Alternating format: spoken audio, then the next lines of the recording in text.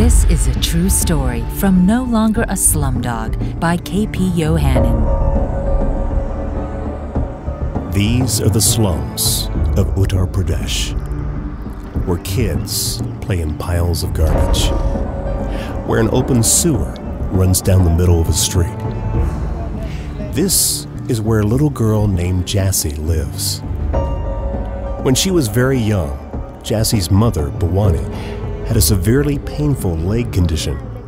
It had lasted for many years. She was taking a lot of medication, but it was not able to cure her. There was nothing Jassi could do but watch her mother suffer in pain.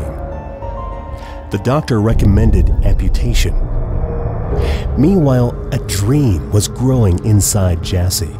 A dream to become a doctor. One day she could help poor people like her mother. But there was no way her mother could afford to send her to school. Through the generosity of people like you, Gospel for Asia was able to start a Bridge of Hope Center near Jassi's home. It was this Bridge of Hope that changed Jassi's life. Before Bridge of Hope Center started here, they were like children who do not have a father and mother. They would just roam around. After coming to Bridge of Hope, they provided dresses and then soaps. All these things and supplies. Now I came to know about cleanliness. I know how to behave. I know how to dress well. The Bridge of Hope not only helped Jassi with practical, everyday things, they helped with eternal things. After I came to Bridge of Hope, when we heard about Jesus' love, we believed in him and we started praying for my mother. And the staff of this Bridge of Hope, they would come here to visit the house and they would pray and share about Jesus' love. And she is getting cured day by day. My leg is improving. It was swelling out before, but now it is gradually decreasing.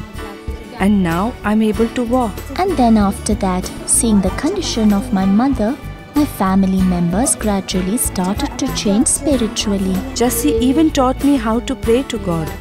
Through her guidance, now I am praying to God, and God is doing a great miracle in my leg and also in my daughter. Jassi's mom is a walking miracle, literally. And now it's Jassi's turn to believe for a miracle.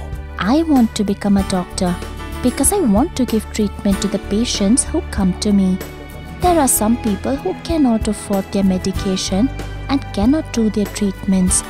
So I would like to become a doctor and help them. I know the aim of my daughter that she wants to become a doctor. But I also certainly know that I am a very poor mother. So I think I could not afford the necessary needs for my daughter to accomplish her dream. But one thing I also understand that Bridge of Hope, if they help my daughter's education, then I believe that her dream can be accomplished. And I also believe in God, that if God's willing, that everything is possible.